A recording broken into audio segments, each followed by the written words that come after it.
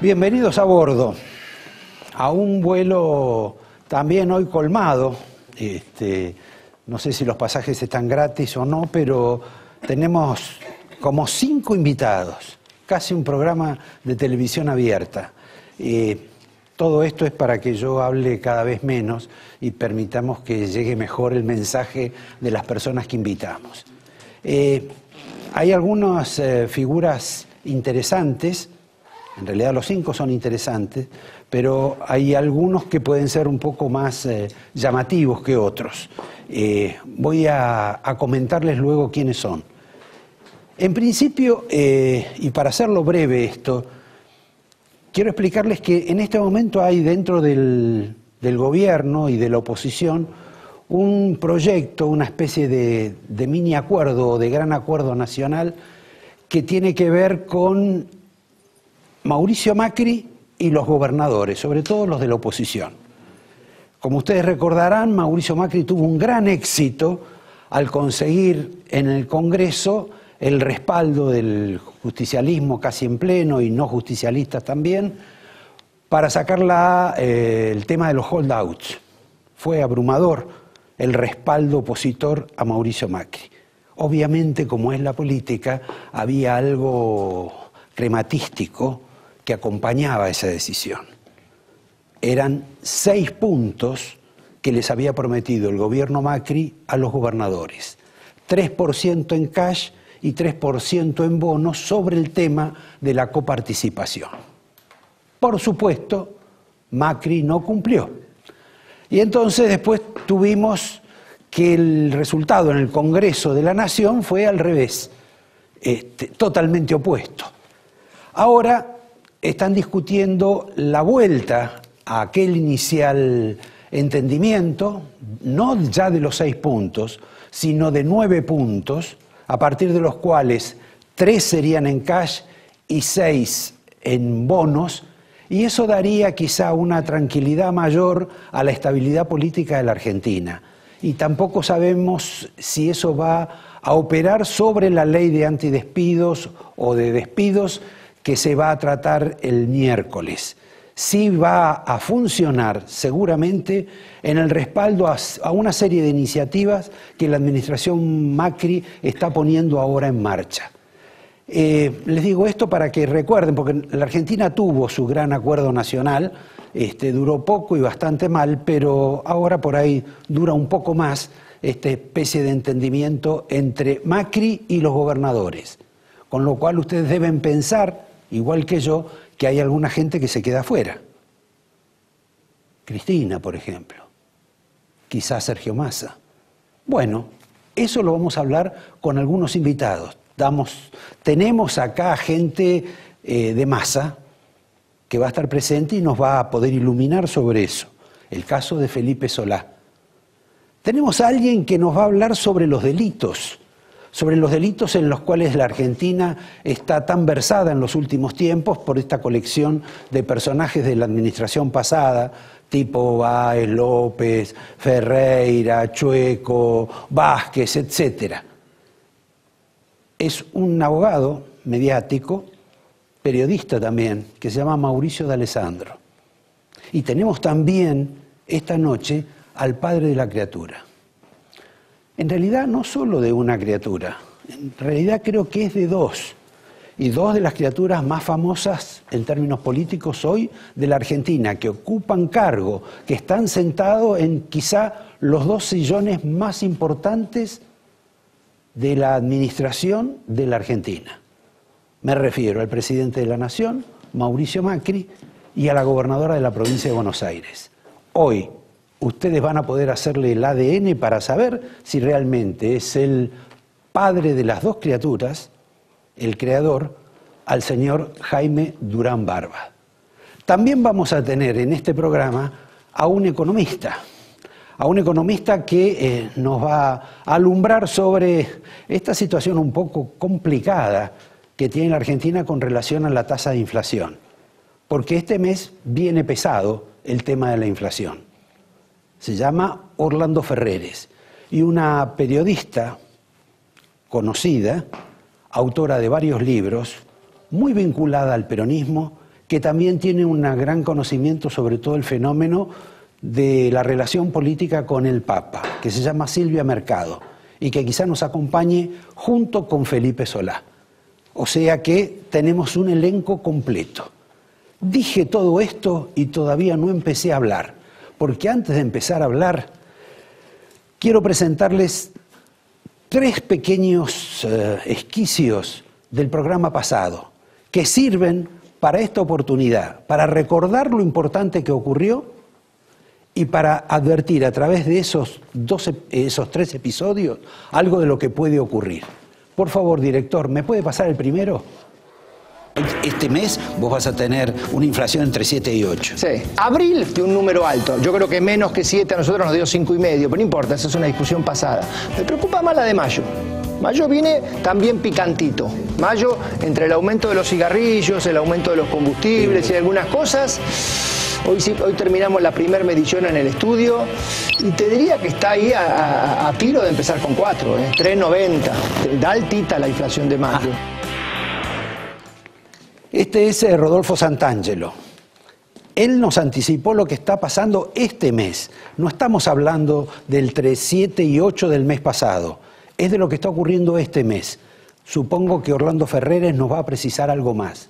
Y luego hay otros dos trozos del programa pasado fundamentales.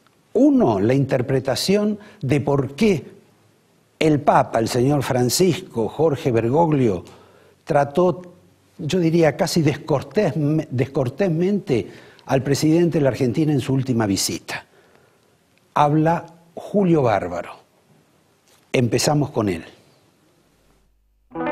Estás en la cofradía de los que están todos en contra de Mauricio, porque Mauricio con el Papa tampoco se lleva. Bueno, si yo le pidiera al Papa la entrevista vía Cancillería, me vería en un rincón del costado, igual que Mauricio. Hay cosas que hay que aprender en la vida.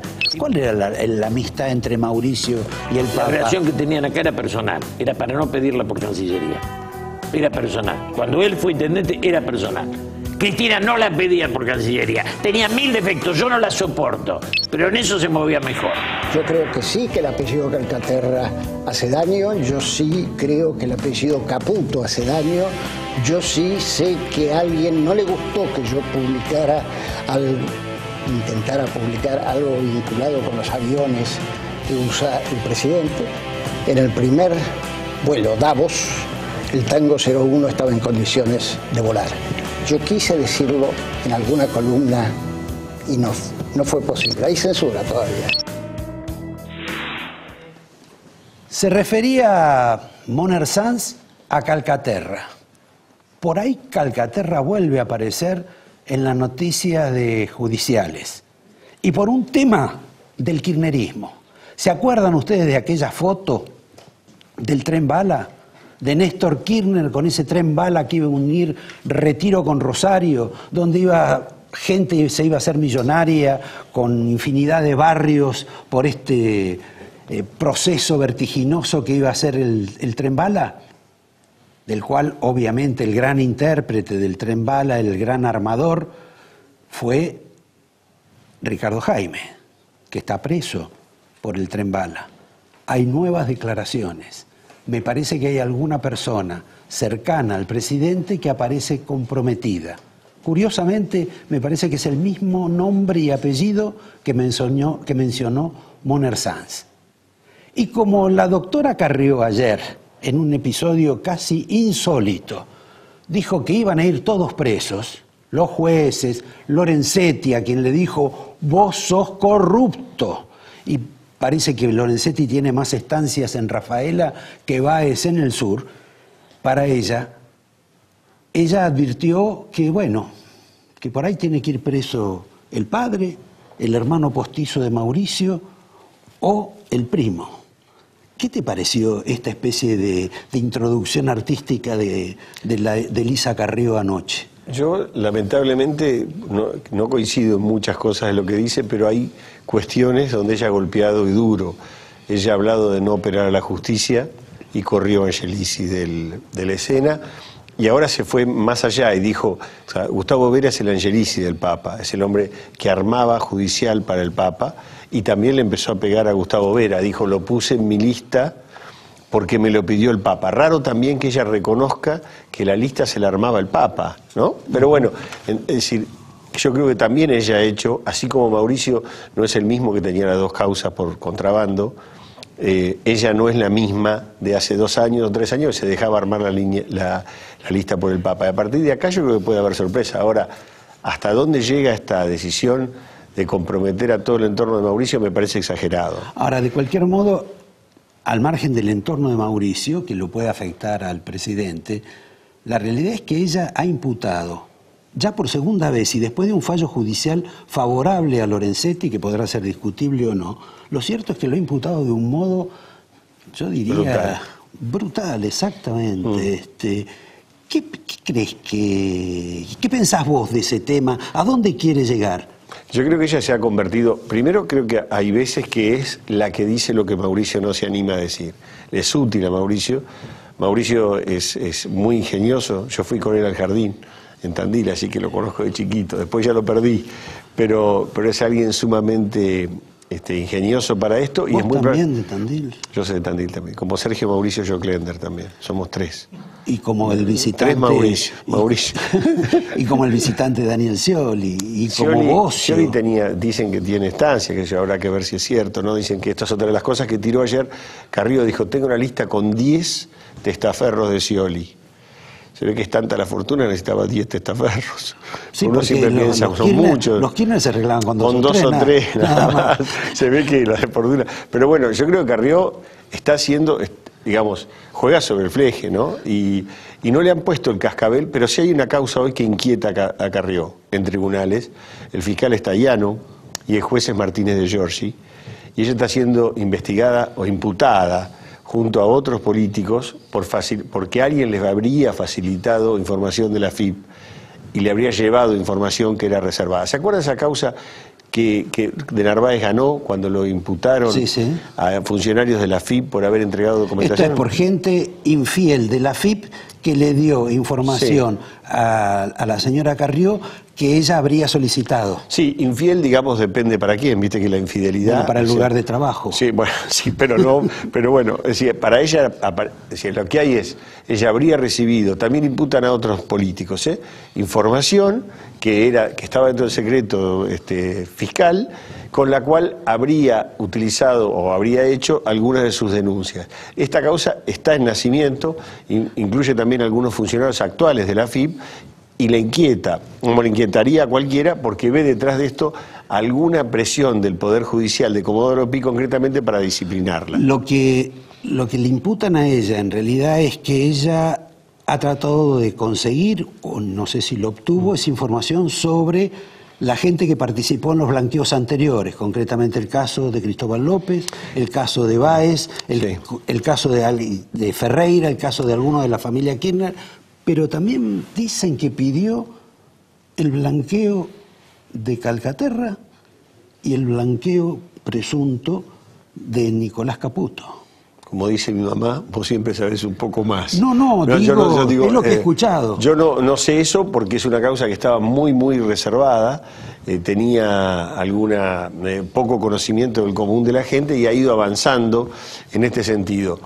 el club, digamos, no es un club de amigos para Carrió como Doropí. Y además hoy rivalizan. No nos olvidemos que desde que mm, los fiscales, el caso Nisman y la oposición a Gicarbó cuando los trató de dominar, eh, Roberto, eh, todo el, entorno de Comodoro Pi y que se ha ido depurando y se piensa depurar más, se ha convertido en uno de los lugares donde la sociedad se ve reflejado, se ha cambiado totalmente la opinión de la sociedad sobre la justicia. Lo debe tener medido mejor Durán Barba, pero hoy ellos tienen un prestigio que cuidar están decididos a mantenerlo y acrecentarlo y en eso rivalizan con Carrió. ¿Quién es el que es más sano y más puro, ¿no? Ahora, eh, yo te voy a hacer casi a, tomarte una prueba, un examen sobre tu conocimiento como abogado. Cuando ella les imputa encubrimiento agravado, ¿es una imputación política más que tenga consecuencias jurídicas, cuando le ¿sí o imputa- no? le imputa a quiénes. A todos los jueces. No, eso no tiene ningún sentido, porque no, no sería, es un delito, no tiene ni idea de lo que dice jurídicamente, porque no ese es el delito que prima en esta cuestión.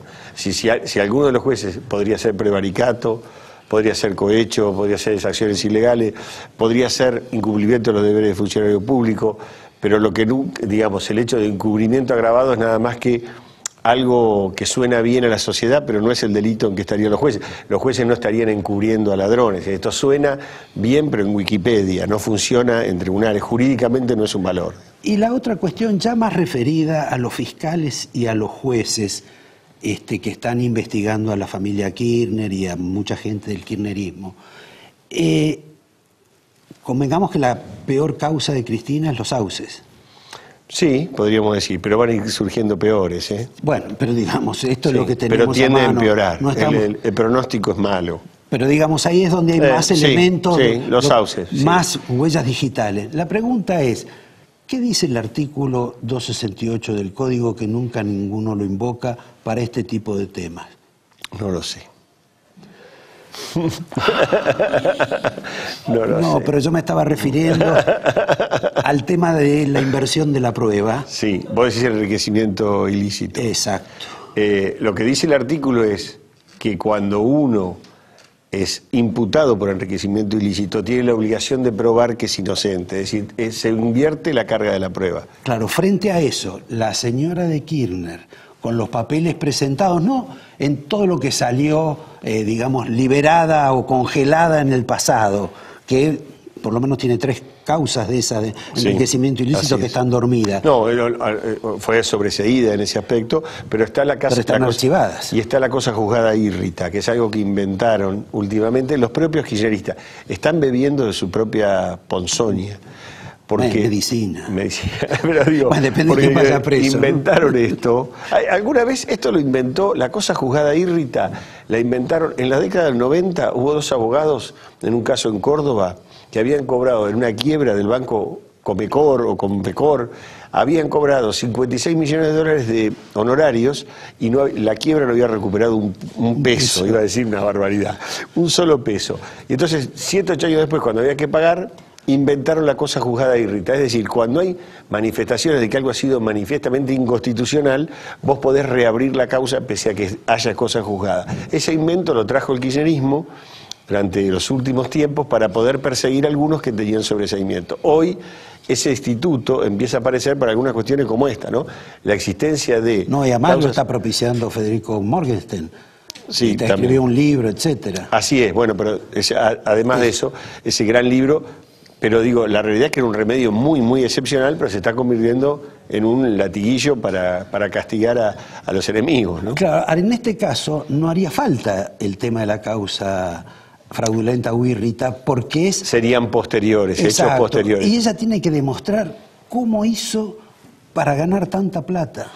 Yo digo, hay cosas que son medio obvias. Si vos tenés un reloj de oro, ella dice, ah, muchos han intentado, incluso Bárbaro y Laura Di Marco, en plantear que Cristina era una persona inocente al lado de un monstruo que la obligó a tolerar el robo. Esto es el planteo es en el libro que Laura Di Marco está haciendo más o menos. Sí, sí.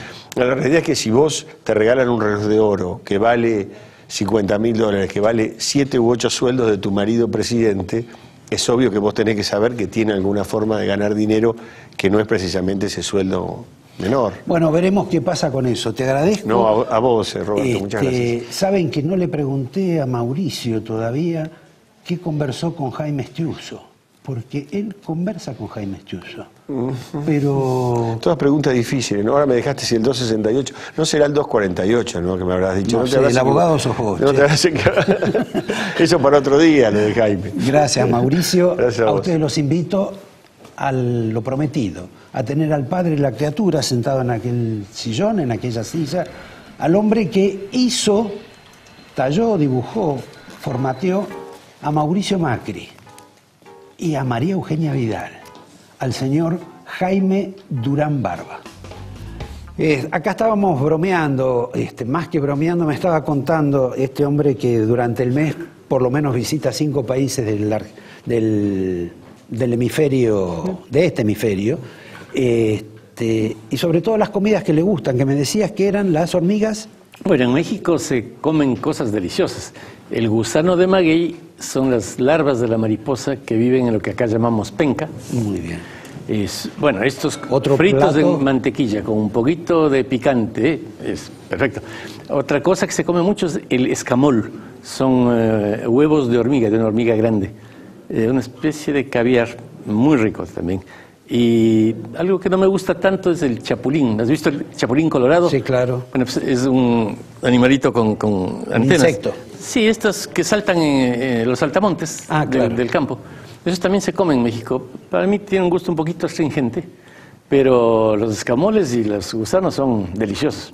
Bueno, ¿cómo asociamos eso- esos bichos, este, esa, esa lección de zoología y gastronómica, este, con estos dos hijos que vos tenés en alguna medida acá? Este, que uno es este, Mauricio y el otro es María Eugenia. Para saber este, con cuál estás más conforme o cuál es más propio. Mira, eh, yo llevo muchos años trabajando en eh, política, análisis político. Soy de los profesores fundadores de la GSPM en Washington. La formamos cuando eh, juraba el presidente Clinton por primera vez hace mucho tiempo. Eh, y me he dedicado siempre a estudiar política. Eh, no he hecho mucho más que eso. Más allá de mantener mi, mi vena literaria, yo adoro la literatura y el otro tipo poesía y novela, me, me, me copio. Pero eh, he trabajado mucho, hacia el año 2000 trabajamos intensamente en México, en la elección del 2003 mucho, y con mi socio Santiago Nieto llegamos a la conclusión de que el mundo se andaba derrumbando. Dijimos, muchas de las formas de hacer política y de comunicarse anteriores con las que habíamos trabajado nosotros empezaron a, a perder sentido. Eh, hay una nueva generación, una nueva forma de ver la vida en la que pasan cosas como esta. En la última feria del libro de Buenos Aires, ¿cuál fue el Sí. escritor que más vendió? El joven... Un este, youtuber. Exacto. A mí me dio curiosidad. No soy de esa generación. Entré a ver de qué se trataba y. Bueno, es algo que para una vos tenés persona como. Sí, claro. yo- ¿Y yo- no estás horrorizado con alguna de las cosas de los, de los ídolos que tienen tus nietos? No, me parece genial. Ah, sí. Sí. Bueno. Es totalmente distinto de lo que yo viví. Eh, pero me parece que, y ahí está tal vez el eje de todo mi trabajo, hay que entender lo distinto. Ahora el mundo no es como fue. Bueno, entonces lo que me está diciendo es que tanto Mauricio como, como María Eugenia Vidal son distintos a lo tradicional. Yo creo que el PRO y María Eugenia, eh, Mauricio desde luego, María Eugenia, Horacio en, en la ciudad, son la expresión de la nueva política de la que está viniendo. Eh, es un fenómeno mundial, el- el- el- este, no, es- no es un fenómeno solo argentino. Creo que es una, es una punta de lanza de, de esta nueva política que llega, que es una política en la que se acabaron los mitos, se acabaron los dioses, se acabaron, se acabó la comunicación política vertical.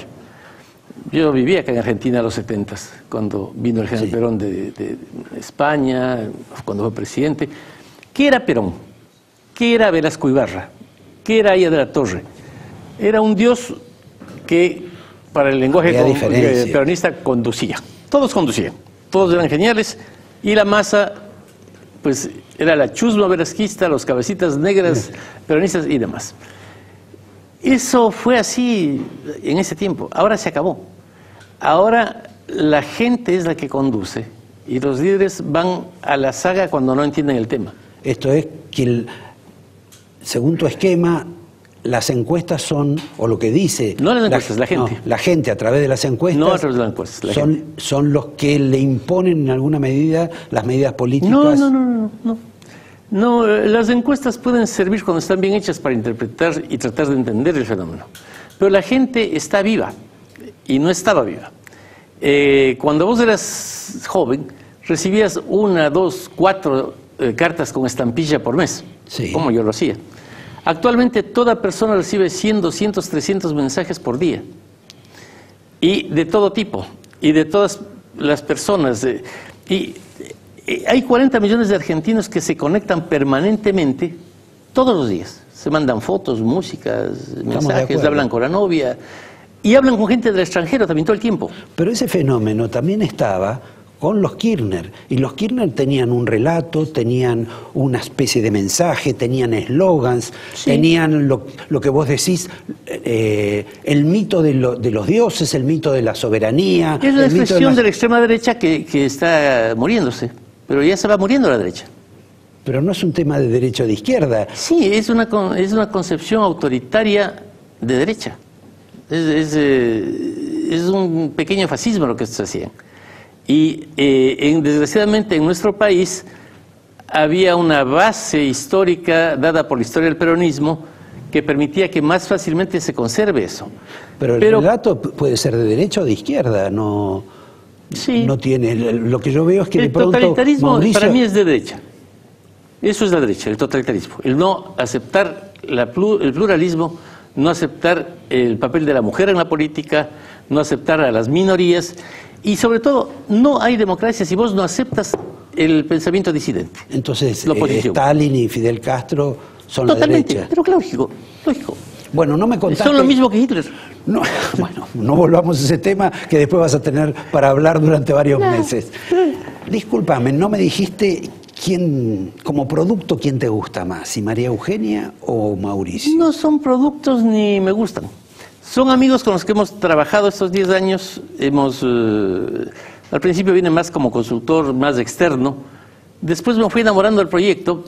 Hace unos tres años, al- cuando cumplí 65, decidí retirarme y hacer lo que me gusta. Yo ahora no, no voy a un sitio si no me gusta. Estoy eh, fuera ya del... Hay otra gente más joven de mi, de mi grupo que asumió la- el trabajo normal. Y estoy enamorado de este proyecto que es el PRO. Son Mauricio, María Eugenia, Horacio, Marcos.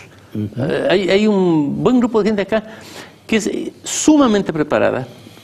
Trabaja con las mejores herramientas, no hay duda que es el mejor equipo de América, incluido Estados Unidos. Yo conozco bastante bien los equipos norteamericanos. Eh, gente preparada que está trabajando desde el punto de vista de la gente, y eso es muy complicado. Está entendiendo a gente que se liberó que es imposible de encerrar porque no va a haber nunca más niños que crean en la cigüeña como yo creía cuando fui pibe. Eso ya se acabó. No hay cigüeñas, no hay líderes, no hay conductores. Y eh, cuando se conduce mal esos procesos, terminan en el poder personas como el coronel Chávez, que destruyó un país por su ignorancia y por su brutalidad. Pero fue fruto de eso también, de eh, surfear con la gente. Eh, pasa lo que en Brasil, que es muy lamentable. Yo amo Brasil, he estado mucho en Brasil, conozco a muchos dirigentes brasileños. Y Brasil se desmorona. Yo no creo que hay ninguna posibilidad de que Temer se mantenga en el poder Bueno, más tiene, de unos meses. tiene 180 días. Y no va a pasar de eso. Porque, otra vez, ¿cómo una persona en el siglo XXI puede hacer un gabinete sin mujeres y sin negros en Brasil? Está caído. No se puede. En este siglo hay que respetar a la mujer, hay que respetar a las minorías, hay que respetar a los negros, a los indios, a, a todos los colores, eh, hay que respetar a las religiones. Y a los Ya pobres. no estamos en la época en que los católicos imponían a los demás su punto de vista. No. Ahora también, si sos musulmán, podés ser alcalde de Londres. de Londres. ni más ni menos. De un país cuyo rey es jefe de la iglesia, además. Ahora, vos contás Eh, El mundo esto. cambió de una manera descomunal. Y entonces, lo que casi no cambia es la política. Y eh, al no cambiar, se está produciendo este catombe en la cual un sujeto como Trump puede ser presidente en Estados Unidos. Un individuo absolutamente ignorante, primitivo, pero que expresa otra vez lo mismo, la protesta contra la política tradicional. Yo, desde luego, que, eh, apoyo a Hillary y estoy ayudando con otros eh, profesores y académicos americanos en- frente a Trump. Pero Porque estás a favor de la política. No, eso es lo que no entiendo, porque lo nuevo es Trump. sí, pero no todo lo nuevo es bueno, ni todo lo malo, ni todo lo viejo es malo. Pareces No, un no, no. kirchnerista. No, no, no, no, no. no. Eh, eh, o sea, el Trump, ¿qué es?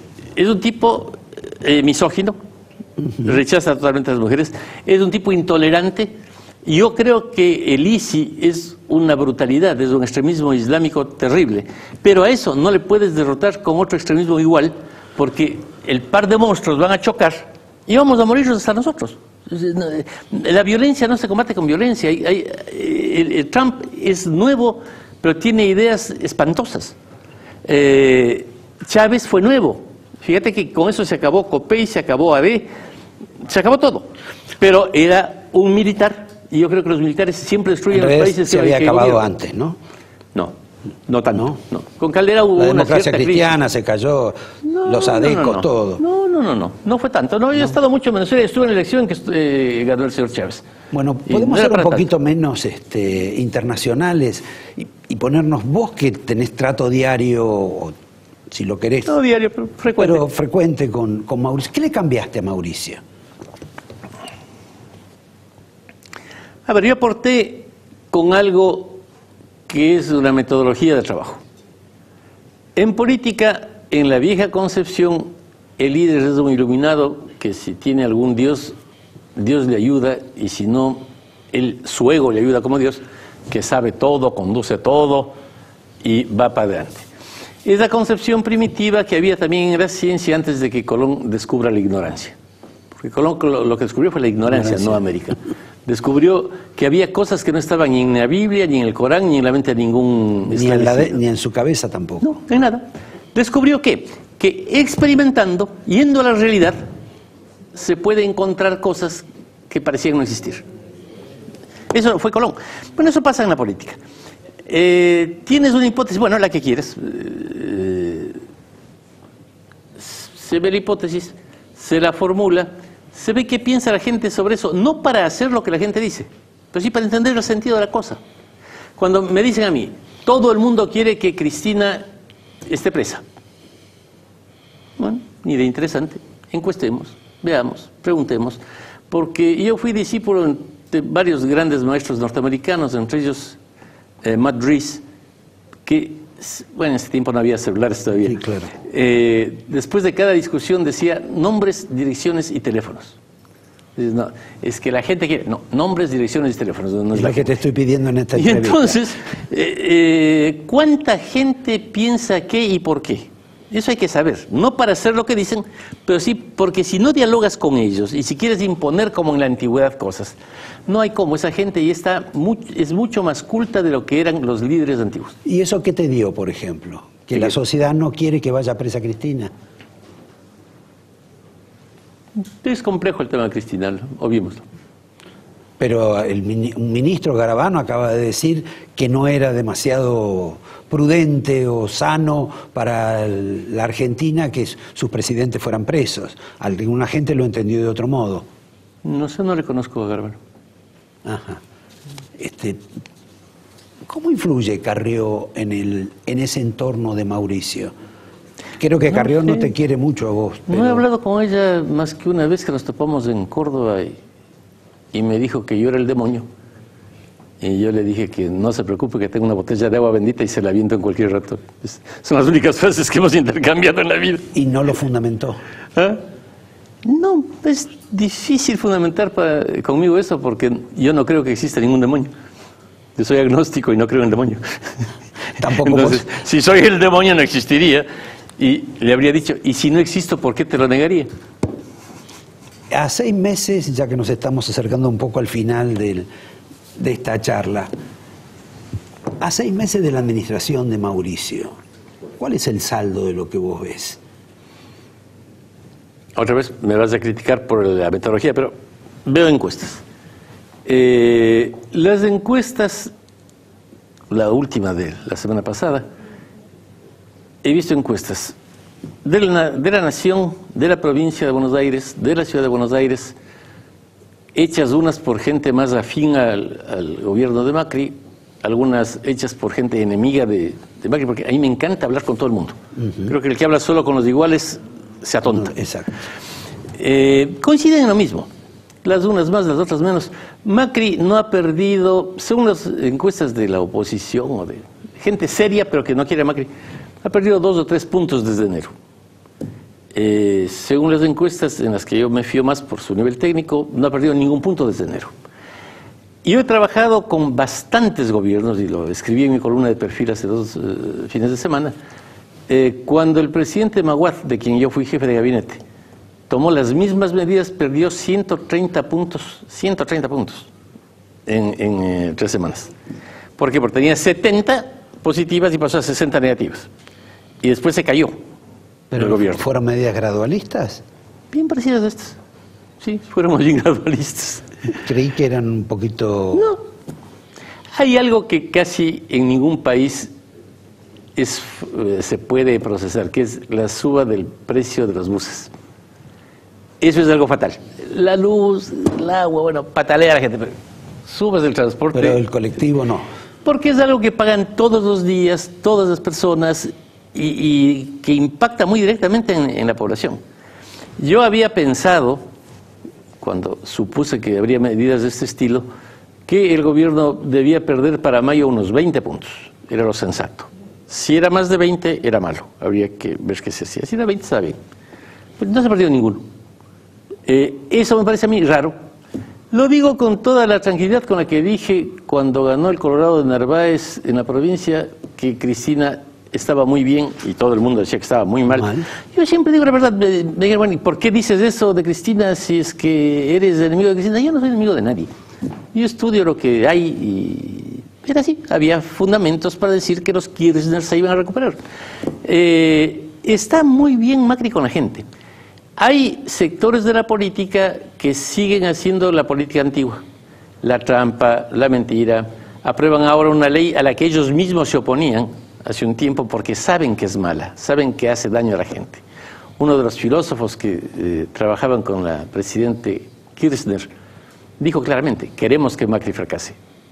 Un sacerdote de este grupo de eh, gentes que, que andan ahora eh, encabezados por la señora de Bonafini, dijo, "Ma- Macri debe ser destituido mañana. Lo dijo hace dos días.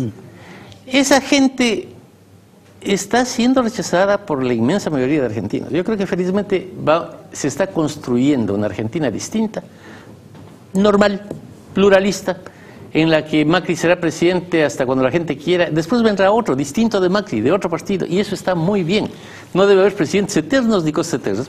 Espero que eh, Bueno, se eso- consolide una democracia. Eso lo dice la Constitución. Eh, sí, pero en nuestro país mucha gente no quiso eso ¿no? Eh, muchas pero eso- veces. Eso, es historia antigua. La idea, la idea de Cristina Eterna eh, no es muy antigua. No, pero... Había bastantes que querían eso. Bueno, te agradezco por las buenas noticias, que es lo que quiere dar el gobierno Macri, y creo que vos has difundido mucho esa, esa expresión, ¿verdad? Sí, lo importante es saber que la Argentina se encamina hacia lo que debe, un país próspero, un país en que toda la gente tenga una vida mejor. Y yo estoy seguro que eso está construyendo y, y, eh, vos decías, ¿qué hice yo con Mauricio y con María Eugenia? Con- contribuir simplemente eh, con mis estudios para que esto sea más fácil. Pero son los No, líderes no los le que hacen todo. coaching a María Eugenia. También.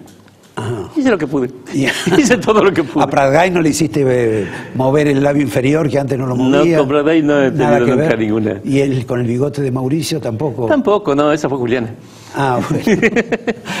te agradezco. Te doy Muchas el gracias. angelito de la casa, Gracias. un recuerdo. Yo te traje un ejemplar de mi libro, Ah, y el, arte de ganar. Este, que felizmente no leyeron bien los kirchneristas porque podrían haberse defendido mejor. Bueno, te agradezco. Aquí está para ustedes el libro Arte de Ganar y los invito a, a la sucesión de Jaime, que van a ser la señora Silvia Mercado y Felipe Solá, para saber, para saber hasta dónde va a llegar Massa, porque me parece que este, esta semana por ahí queda fuera del juego. Gracias, en un minuto volvemos y gracias a vos. Gracias.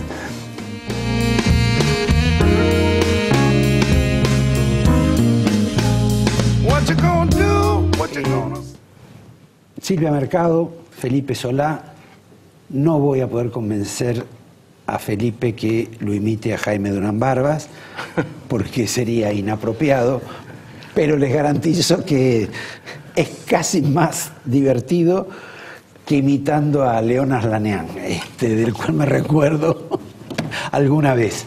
Eh, pero bueno, eh, tampoco vamos a analizar todo lo que nos dijo Durán Barbas, No, por suerte no. ¿Por qué le decís barbas? Porque por error. Ah, perfecto. Este, no Qué me- bueno, no- bueno, no, me, no me corrijas, barba, barba, barba.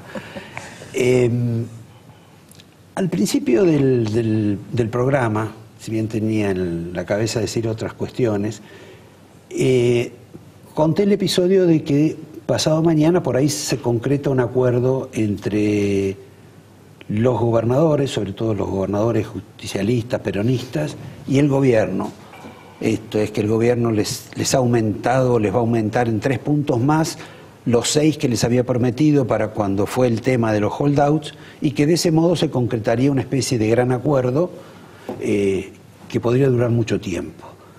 Ese acuerdo, al margen de la presunta estabilidad y que les aprobarían todas las, las leyes en el Congreso, implica, bueno, marginar a cristinismo y tal vez marginar a, a- a Sergio Massa. ¿Estoy equivocado con ese esquema? No dan los números para ese esquema. Eh, la influencia de los gobernadores, Roberto, es en el Senado. Exacto. Eh, bueno, es donde ellos tienen un gran problema. Allí el bloque de senadores tiene, está obligado a estar unido para mantener la mayoría y para estar unido tiene que seguir a la mayoría interna, que son kirchneristas. Es decir, cuando ellos mandaron esta ley de este, doble indemnización, Sí. decir, mal llamada prohibición de despidos, por 180 días, y dijeron al mismo tiempo que diputados no le toque una coma, porque nosotros no vamos a cambiar nada, no es el pensamiento del jefe del bloque, que es mucho más moderado en eso Pichetto. que entiende que la ley se puede mejorar, etc. Eh, pero si Pichetto no dice eso, se rompe ese bloque. Y entonces el Senado queda con tres bloques parecidos, este, con la posibilidad de que el tercer bloque, el, bloque del gobierno y algunos aliados, tenga peso y, a veces consiga aliados y, tenga la mayoría o la primer minoría. Por lo tanto, el tema pasa por el Senado. En el Senado los gobernadores influyen sobre algunos, bastantes, eh, peronistas, y tal vez sobre algún radical, y no influyen sobre los kirchneristas. Entonces, igual eso puede volcar el Senado. Por ejemplo, si nosotros modificamos la ley el miércoles y le agregamos todo este, lo, que, lo que le queremos agregar al Frente Renovador, que es la ayuda, el apoyo a las pymes, que es muy fuerte. Por ejemplo, para darte una idea, todo, todo tipo de... Son 600 mil pymes dis- dis- que dicen las estadísticas del Ministerio de Industria. Eh, donde hay de todo. Empresas muy modernas con poca gente, menos de 40 personas, suponete, es lo que ponemos nosotros. O empresas... Este, Que tiene un costo eso. Sí, claro. Tiene un costo importante. Por eso. Tiene un costo En importante. un gobierno Tiene un costo que importante. no, que no baja el, el gasto, digamos, suma. Bueno, ¿no? el gobierno, el gobierno tuvo alguna forma de bajar el gasto este, importantes, ¿no? E- Esa noticia que salió hoy que dice que los echados del Estado generaron 2.900 millones anuales, que es una cifra insignificante para, para lo que es el presupuesto. Pero lo que digo es, los gobernadores, si influyen sobre el Senado y la ley sale modificada el miércoles y va al Senado, los gobernadores van a influir para que salga de alguna manera no para que no salga, porque no creo que los gobernadores estén dispuestos a pelearse con las CGTs. No creo que se produzca una Pero cosa vos sabés, y A vos mí me también. parece que está un poco desinformado, Felipe. No me digas. Sí. Ah, bueno. Es que ella se informa con Durán Barba.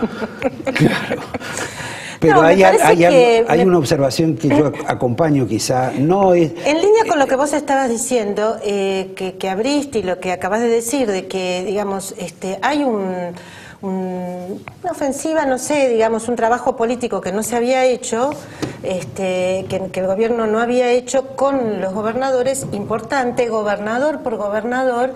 eh, eh, digamos, dándoles lo que ya les había prometido y no les había dado, vos arrancaste con eso y eso es absolutamente cierto.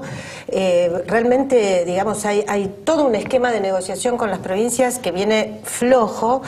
Eh, y me parece que la, la, mm, mm, digamos, los senadores fueron tan enfáticos en, en- en la ley mal llamada antidespidos en- básicamente enojados por esto. Pero ahora, ¿qué es lo que el gobierno está volviendo sobre sus pasos? Este, está negociando gobernador por gobernador. Lo que está haciendo es eh, eh, desinflando la ofensiva o, la capacidad de Sergio Massa de, ser como, digamos, el, que tendría el miércoles el proyecto aprobado. Y hay muchos gobernadores ya en la Cámara de Diputados que a, sus diputados le- eh, aparentemente le dirían, mirá, no acompañes. O sea, hay, Pero está no, abierto no, no esto. acompañen qué, porque en última El proyecto de Sergio Massa, porque, digamos, el proyecto Pero del perdón, Frente- primero ti- tienen que no acompañar el del de- kirchnerismo. el del kirchnerismo, Después el del PRO. Y el- después el de Cambiemos y después el de Sergio Massa. Esto, esto es así. Me parece que hay varias negociaciones abiertas, hay, hay varios planes de parte del gobierno eh, y me parece claramente que lo que busca el gobierno es deslegitimar cualquier capacidad que pueda tener Sergio Massa de imponer la agenda. Están bastante enojados con Sergio Massa, el presidente Macri está muy enojado con Sergio Massa, cree que ha llevado a todo el mundo a, digamos, a, digamos en una sucesión de, pire- de piruetas y de, y de malabares políticos que le implican un enorme esfuerzo al gobierno y que finalmente no resuelven nada. Pero le ayudó Hay que a, ver a la si- Vidal en la provincia de Buenos Aires a que sobreviva. ¿O otra no es así? cosa, o- Sí, acá tuvo- también tuvo presupuesto, casi pues. cogobernando. Tuvo Pero- presu- no, ahora no tanto, pero tuvo presupuesto al principio porque nosotros volcamos la cosa. si Pero no, esta semana también en la provincia de Buenos Aires hay muchos problemas. Eh, eh, también esto es, este, es información del día de hoy. Se está evaluando en la provincia de Buenos Aires romper el acuerdo que hay con Sergio Massa porque el jueves se, eh, se espera que se dé sanción definitiva a la ley de emergencia administrativa eh, que ya tiene media sanción del Senado y no y el Frente Renovador no está respaldando. Por lo tanto, hay una discusión pero a full, en, en todo sentido, de cuáles son las, cuál es la relación entre Sergio Massa y el gobierno. Antes toleraban muchas cosas del- en la escala nacional porque en, en la escala provincial funcionaba realmente como un aliado. Como ya no está funcionando como un aliado, hasta están discutiendo, no sé si lo van a hacer, eh, eh, están poniendo en tela de juicio el rol de, de Sarguini. Es fuerte lo que está pasando. Y perdón, y con Sargini relación... está por un año, ¿eh? Perdón, Sargini está por un año. está por un año, no por dos. Eh, después subiría el, el actual vicepresidente de la Cámara. Manuel Mosca. Eh, que es no, lo que de quiero decir Que es es, que... de, que es de María Eugenia Lo Vidal. que quiero decir sí. es que a las apuradas, Frigerio anda por las provincias prometiendo plata, que antes negó, del 15% ese famoso que, que la Corte Suprema estableció que debía devolver a las provincias. Eh, el 15 de ganancias. Ahora, quería decirte que las cosas no son tan matemáticas como las Por de supuesto Silvia. que no. Eh, el miércoles en el recinto, faltan horas, se va a ver, además se va a ver cuál es el número de cada uno de los proyectos. Eh, eh, es un- se va, va a ocurrir a la madrugada, porque hay tres leyes, y esta es la tercera. Ya está la ley de devolución del IVA, ya está la ley de acceso a la información pública. Así que ahí veremos. Este, yo creo que, eh, con todo respeto por mi eh, amiga de siempre, ex vocera mía, este, o sea, hacía así cuando yo Sí, hablaba, claro. ella después salía así, hablaba. Sí, y se Este. Era, muy joven, creo que- éramos muy jóvenes. Creo que... Se hace- burlaba que él de hace mí. lobby. ¿Sabes qué creo? Silvia que hace lobby. No, no, no, no. Sí, no, haces pero- lobby. ¿Cómo voy a hacer lobby? ¿De qué? Eres una lobera. Ah, no, una lobista. Ah, no, una. Pero por ahí este, Durán Barba tiene una lobera. No sé. Lobeando. Tiene Ahora, ganas de chicos, invitarlo a, a Durán. El- esto es un- una ley presuntamente dedicada al mundo laboral, este, que ha tomado una característica política diferente. ¿No percibieron que los sindicalistas aflojaron un poco el tono? A pesar de que en la última reunión con Macri se gritaron mutuamente, Macri los trató, y voy a usar la palabra porque es medianamente pública, los trató de pelotudos. Este, Eso dice Sí. un comentarista, sí. que no, no, este, no- Joaquín no- creo que lo dijo. muy- O no, Carlos Pañi, no me acuerdo. no es muy, digamos, este, de ingeniero, este, y el- los muchachos le dijeron un- algunas otras cu- cuestiones y se fueron, dejaron las sillas vacías. Ahora, ¿qué pasó desde entonces para que de pronto disminuyera esa tensión? Eh, nosotros también sentimos que disminuyó esa tensión porque además eh, ellos se dieron cuenta que cuando planteamos el tema de las pymes y de y quiénes dan trabajo en la Argentina mayoritariamente, qué pasa si salís a la calle, mira, ¿qué ves? Mini pymes mini empresas y de vez en cuando una pyme. Y mini país. Sí, mini país, pero ves un kiosco, un, un- un bar, otro bar, un, un negocio que vende algo, etcétera, que tiene un empleado, dos empleados, tres empleados, cuatro. Este, hay tipos que compiten con grandes empresas y tienen 12 empleados, tipos muy eficientes. Ya me refiero a la industria, ¿no? La industria que- que con más, más intensiva en tecnología, en capital. O sea, hay de todo. Y no tenía ninguna política para esos. Hay una receta general para toda la economía que no tiene ninguna política eh, específica. Nosotros hacemos políticas específicas muy importantes. Los repro, por ejemplo, que no son ley, los hacemos ley. Los- la, lo- la recuperación productiva, es decir, que son muy importantes. Y, y además terminamos con esas cosas, ¿te acordás el, el IVA por ganancia presunta? Sí. Que vos lo que ganaste en el 2015 eh, es lo que vas a pagar en el 2016, pero en el 2016 no estás ganando ni la mitad, ni, ni la quinta parte, ah, no tenés que pagar por el interior, te matan. Este, sacamos ese tipo de cosas, ¿no es cierto? Los dejamos que el impuesto al cheque sea, le sirva para, para pagar ganancias, que sea anticipo de ganancias plano, o anticipo de IVA. ¿El oficialismo es receptivo a esto o, o se planta en Acá hay un problema político que lo dijo muy bien nuestra compañera este, Mercado. No, no me ni mencionar. Que es eh, la disente, como una vez vi una ministra de, de Scioli que dijo el disente, porque estaba de Lía lado. Me hizo una gracia. Bueno, este, la disente dice que. eh, bueno, me olvidé que sé. No, la verdad es que me río mucho. Eh, yo creo que hay un problema político que ella lo dijo diez veces. Dijo, dijo, el problema es Sergio Massa. Dijo varias veces, está muy enojado Macri, cosa que no me va a dejar dormir esta noche, pero la verdad, este, el problema es Sergio Massa. El problema es la falta de laburo, el problema es el ambiente que se ha hecho en el país con, con los despidos. Cuando digo el ambiente, quiero decir, viste, a vos te duele, te duele el codo y vos pensás, hoy me duele el codo. A las 10 de la mañana, a las 12 de la mañana decís, pucha, el del codo, y te olvidás. A las 3 de la tarde volvés a decir, ay, el codo. A las 5 te das cuenta que te duele el codo y tenés que hacerte ver. Bueno, acá pasa lo mismo. Parece que hay algunos despidos. Este, en el Estado despedimos 12, 13 mil. Eh, dicen que hay como 100 mil despidos este, del sector privado. Las tres CGT y las dos CTA vienen a vernos el 30 de marzo, vinieron a la Cámara de Diputados y nos dicen, paren la mano con ganancias. Después de cinco años de, de- de luchar por ganancias, por sacar ganancias de los salarios. El problema son, es, es la fuente de trabajo, son los despidos. Nos dijeron eso a nosotros, ah, sorpresa.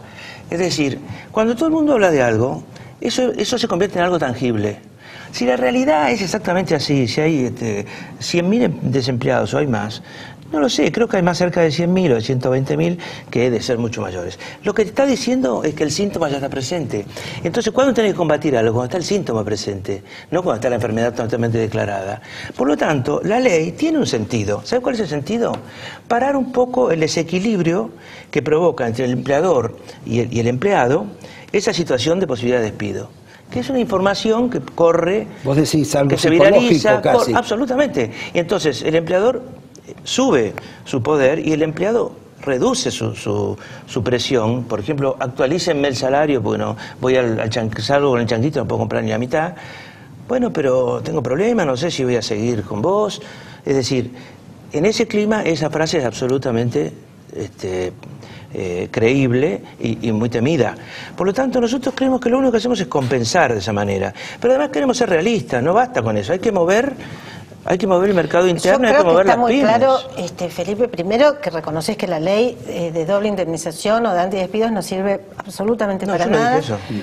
No y al decir, este, Sirve acá para una la cosa mano. más de, de- de tema Sirve para emocional. parar la ¿A vos te invitaron a este programa para discutir con Felipe? Sí, No, me- está. Porque me dijiste amigo, que me- me- me- mío es Es porque Felipe, una vez, no una vez yo A la mí eché me invitaron la para, para que lo La eché- reporte. No la indemnizaste. No, la eché por ineficiencia. Pero bueno, fuera de sacando eso, este. Y era doble indemnización que te correspondía. Sí, me mandó un libro por para que le supuesto que no corrigiera me echó, por supuesto que no, no, no, no me No, eso indemnizó es mentira, tampoco. eso es mentira. Pero, después de este, Durán Barba quiero que se diviertan un poco. No, no, lo que pasa es que este, a mí me invitaron para, para reportearlo a Felipe junto con vos, entonces yo tenía un montón de preguntas para, para, para hacerle. Pues adelante.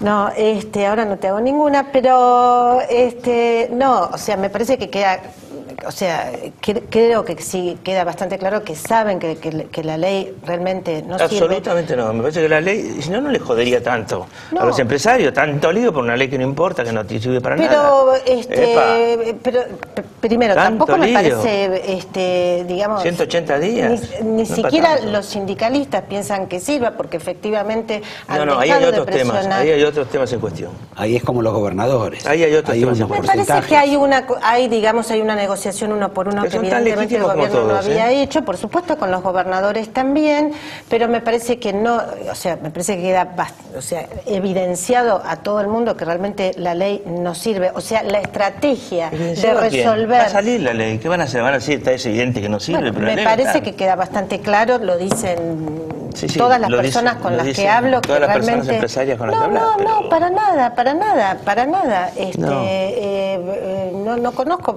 digamos, tampoco tantos empresarios. Está instalado el clima. Está instalado el clima y es Bueno, peligroso. es un tema de clima. También es Vamos cierto, a cambiar ese clima si podemos y ayudar al gobierno a cambiarlo también. bueno, también es cierto que tanto Y es bueno que el gobierno esté negociando. Es muy bueno que Es esté negociando porque está haciendo política en el buen sentido de la palabra. Negociación desde una posición no dominante en el Congreso. Y eso es bueno. Y también es bueno que haya pasado lo que pasó. Que el gobierno haya llamado a los empresarios y se haya hecho firme en esto, medio de prepo, como fue, Sí, sí, a las apuradas, bueno. sin mucho estilo, pero no importa. Es bueno porque en el fondo, ¿qué está diciendo? Me ganaron la partida, me instalaron el tema. No se lo instalamos, está instalado. Ahora, Felipe, la impresión ya general y casi cerrando un poco esto, aunque me quedan un par de preguntas, es que hay como una especie de, de- de pugna por ver quién tiene, digamos, eh, mayor puntería, mayor potencia, este, que tiene la, la avenida Rivadavia, que es la más larga de todas. este, Sí. Esa es la impresión que uno tiene en general. la avenida 9 de julio, que es la más ancha del mundo, sí. Eh, Bueno, las dos cosas tenemos los No argentinos. sabemos si es cierto, sí. No. Este, no, la verdad es que lo que pasó es que la ley tuvo un origen sindical, que fue el 30 de marzo una convocatoria del Frente Renovador a la que vinieron los demás partidos opositores. Ahora, y ahí salió unánimemente el tema de cuiden el empleo, hagan algo con el empleo. Eh, después esta ley fue, votada de la forma rápida y, sorpresiva por el Senado, y con además que venía con, exigencias de no cambie nada, etcétera. Y eso fue una apropiación de la ley para salir un poco del pozo por parte del Frente para la Victoria. Y la ley es una ley de todos los que nos preocupa el empleo en la Argentina. Yo entiendo que además habrá muchos macristas que les preocupa el empleo en Argentina y que no la querrán votar porque no quiere- pensarán que le hace daño al proyecto oficial. Eso lo entiendo, no pienso mal de los que la votan en contra. ¿no? Ahora, eh, no se trata de quién, quién llega primero, se trata de, hagamos, si vamos a hablar sobre empleo, tratemos de ser un poco más serios y no solamente hacer la doble indemnización, sino más pensar en todos los pequeños. Señora, ¿usted tiene algo por decir? Yo tengo para decir que traigo el libro de mi amigo Mariano Causino porque yo ejemplares míos ya no tengo. Usted sabe que Mariano Causino, este, si Ese- tenemos suerte, este, va a ser embajador. todos los amigos, este, él también va a ser embajador en Costa Rica, así que de paso te traigo Ah, un saludo de Mariano. Rusia. A propósito de eso, este, la señora Malcorra vuelve el viernes, la anuncian como candidata este, Qué momento. y seguramente va a hacer campaña mientras se le paga el sueldo como canciller. Pero muchas A te gracias. el- Yo Sí, no está bien. te voy a regalar lo que creo que es el. Muchas gracias. Por otro angelito más. Este, te voy a regalar lo que yo creo que es el documento más importante que se ha escrito sobre la crisis civilizatoria en los últimos muchos años, 40 si querés. Ah, Francisco. Bueno, nos quedamos acá entre. Bárbaro y, y la señora que tiene una opinión distinta a la de Bárbaro este, para hablar de Bergoglio, pero bueno, no es el único caso que hemos omitido y, y que vamos a tratar de reparar en la próxima charla con Orlando Fer- Ferreres, nuestro último invitado. Muchísimas gracias, a ustedes dos Gracias, y acá están Roberto. para que lo Silvia, por tu sorteo y participen. ya veo que bien se llevaban antes.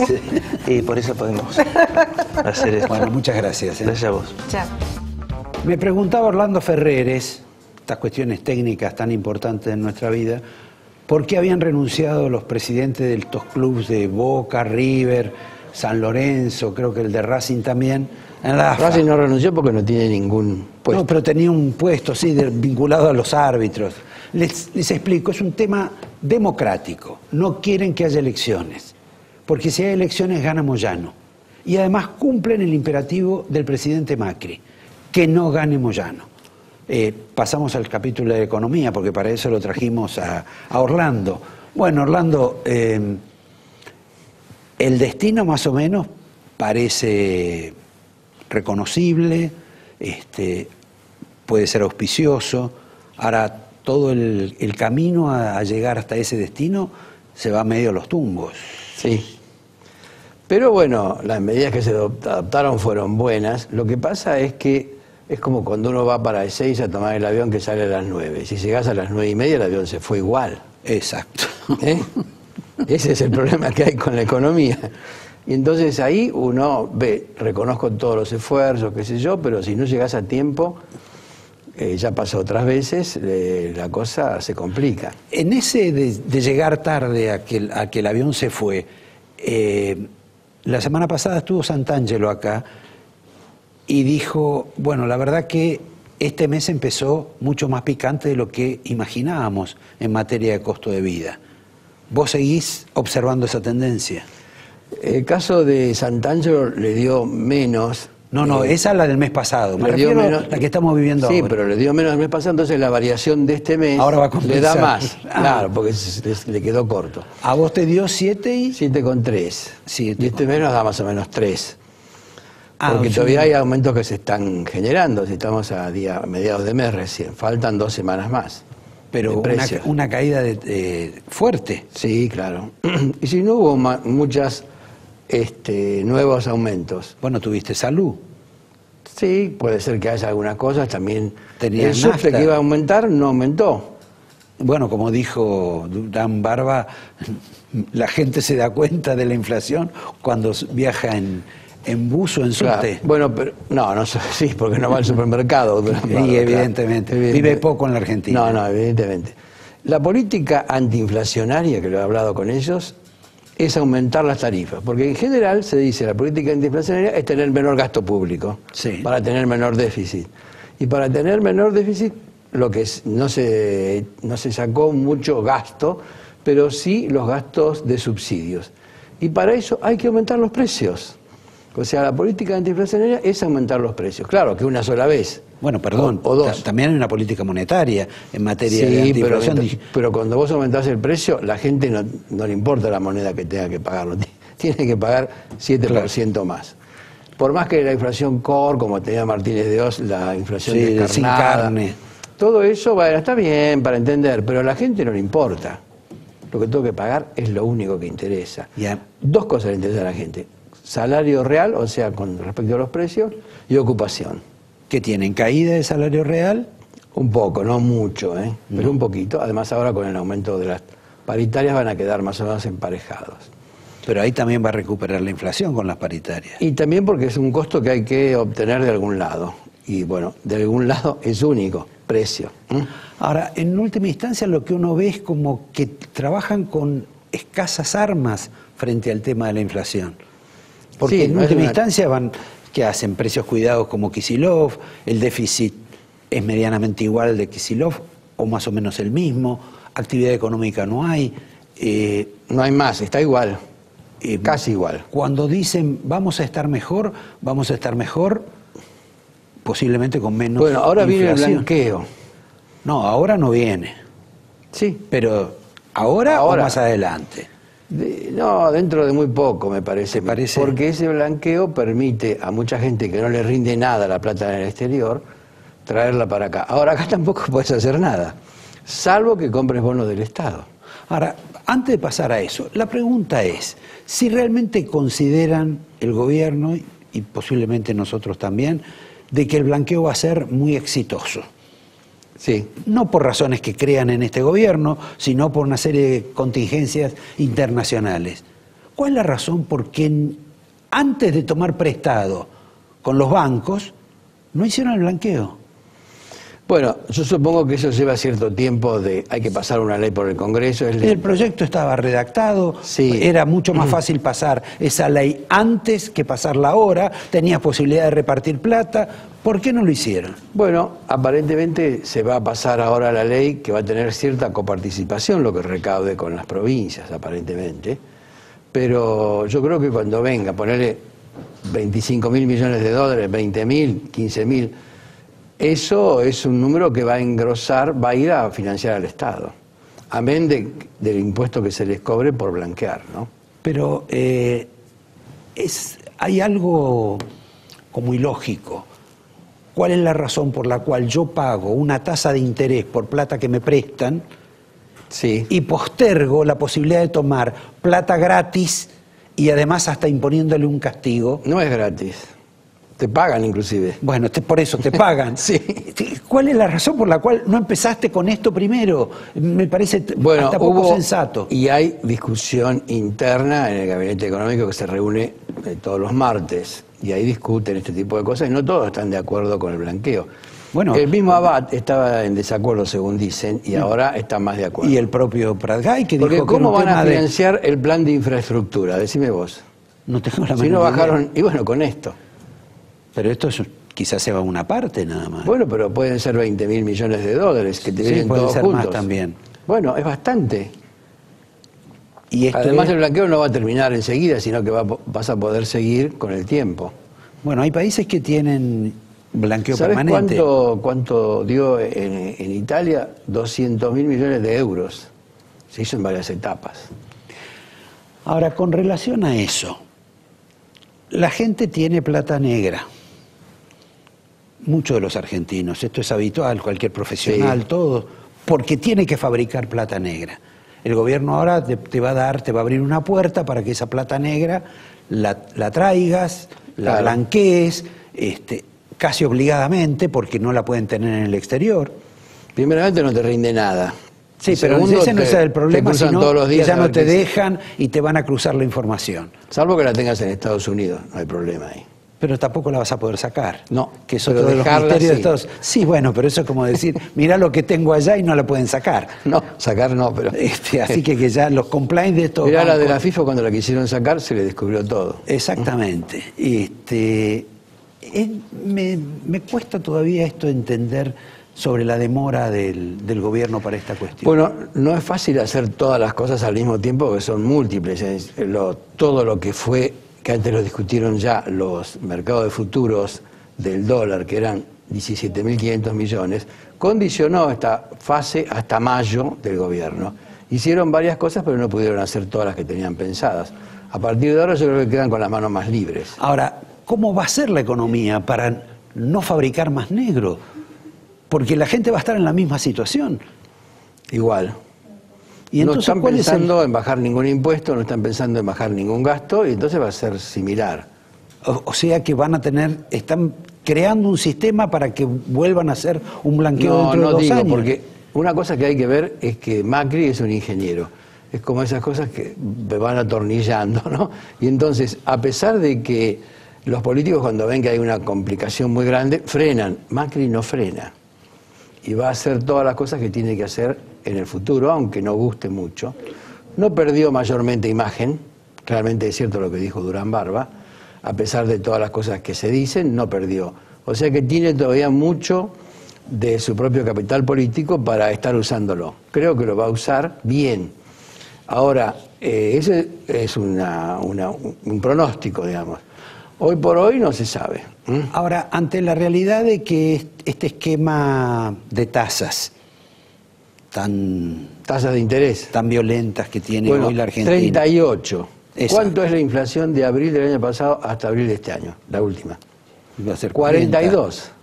¿Te parece alto 38? No, no, bueno, pero para la Bueno, gente pero- la sensación, digamos que no, no es un elemento estimulante para bajar la inflación. Bueno, pero tampoco se podría bajar la tasa de interés de esos dinero que está sobrando, justo que vas a publicar, el Congreso va a publicar en estos días 7% de inflación en el mes. Sí, sí. Y al otro mes, 3. 3 elevado a la 12, o sea, si se repitiera, da 42 también. O sea que Sí, pero este, si vos seguís multiplicando el 38 por el M3, Bueno, Orlando, el señor Dualde, la explosión que vamos Dualde a tener y- va a ser gigantesca. No, no, pero no va a durar todo el tiempo. Dualde, ¿Cuánto es el tiempo? bueno, de 7 bajas a 3, de 3 bajas a 2, más o menos, al mes de julio. Y así seguís después al 1,5 más o menos. con lo cual cierra el año con 37. Pero las tasas de las LEVAC, cuando fueron creadas en la época de Dualde, pagaban 120% y la inflación fue de 41. 41 y pagó este, eh, La Baña 100 130. ¿La Baña o Remes? La bueno, Baña. Remes estuvo hasta abril. Claro. Después vino La Baña, sí, pero hasta julio de ese año se pagó eso. Después se paró. Pero se pagó mucho porque había poca confianza. Entonces acá también como que se subió en las tasas de las LEVAC. Después, no, bajémosla. Con lo cual saltó el dólar. Bueno, bajó medio punto. No, no, bajaron de 30 Ah, y pico a claro. 27. Ahí subió 14% el tipo de cambio. Mucho subió. Entonces vamos a subir otra vez las tasas, lo hacemos bajar. Parece que estamos jugando. Entonces creo que está bien. Stutzenegger ahora dijo, no, un momentito, yo no voy a estar subiendo y bajando todos los días como que no sé lo que estoy haciendo. Vamos a seguir bajándola en la medida que veamos que la inflación realmente está más baja. Si no está más baja, no la vamos a bajar mayormente. Estás hablando como un banquero, pero los señores que fabrican cosas, los Sí. industriales, no piensan así, porque lo que observan es que hay menos actividad económica. Sí, pero no tanta menos como se dice, ¿eh? No es como el tema no. de la desocupación. No, no. Y tampoco hay tanta desocupación, francamente. O sea, yo creo que eso, digamos, se fue generando como una cosa que está presente, pero no es un problema de desocupación lo que hay. Sí, por supuesto, hay algunos despidos, pero los despidos se acentuaron mucho en su imagen pública cuando se sacaron a todo el sector público 12.000 personas, algo así. Nada más, porque encima los- entraron y sacaron, el neto da 12.000, no da nada. La cantidad de empleados públicos que hay desde el 2003 hasta el 2015 es enorme, de 2.300.000 a 4.200.000, tomando las provincias también y los municipios. 70% más en todos lados, Vos- incluyendo la ciudad de Buenos Aires. Este, ahora, eso es inmodificable para este gobierno. No tiene la decisión de hacerlo. Y bueno, la idea que tiene, eh, digamos, Paragay es de consolidar un gasto público alto. Pero este, es Sí, es Kicillof. así. Bueno, es más bien Suecia o algo así. Y de crecimiento. La socialdemocracia europea. Y de, Bueno, con, con mayores servicios, mejor prestaciones del, del Estado, más racionales. ¿Y? Yo no creo que eso pueda lograrse, francamente no. Me parece que eso podría ser un objetivo a muchos años, pero no inmediato.